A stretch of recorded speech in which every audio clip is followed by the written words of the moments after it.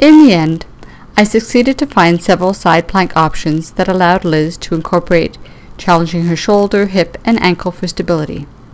As often happens, I became aware of another weak link, which was her neck side flexors. This will allow us to work on them as well.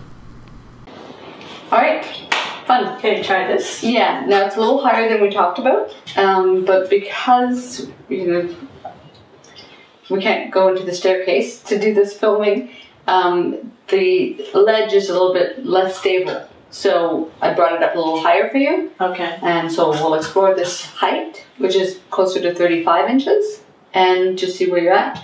Okay. And the stairs are a really nice option when looking at you know heights. You Mhm. get that eight inch um, difference to play with. Yeah.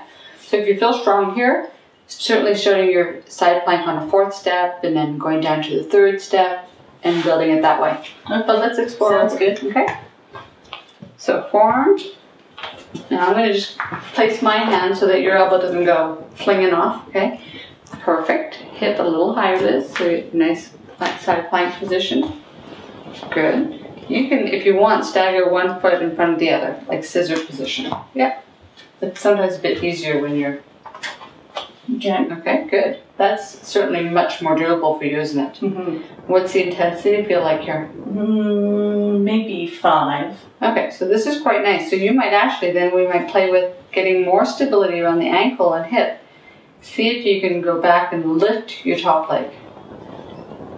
Yeah, there you go. Actually lift it off. Hold. Two. Three. Don't lose your head position. Okay, so that took it to another whoa up Yeah. high, okay? Hand on your hip. Okay, think about that's where you're gonna go. Okay, nice breath in. One more time.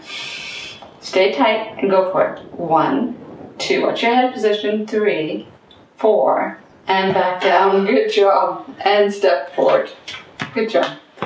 Okay. Where did that take it to? What level? Mm, probably an eight.